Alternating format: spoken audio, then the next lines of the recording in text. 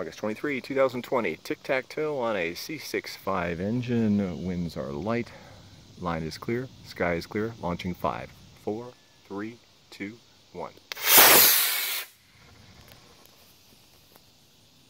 And open.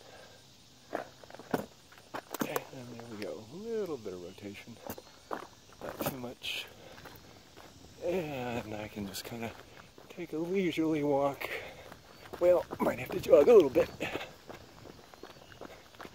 And we'll just watch this one land.